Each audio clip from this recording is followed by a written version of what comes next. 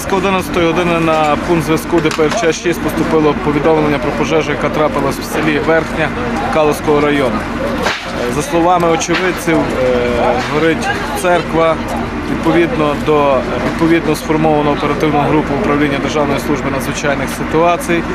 Найкоротші терміни пожежа була ліквідована, е, зруйновано е, прибудова до дзвіниці. Силами Державної служби надзвичайних ситуацій врятовано поряд стоячу будівлю самої церкви. Причини пожежі та збитки від неї встановлені.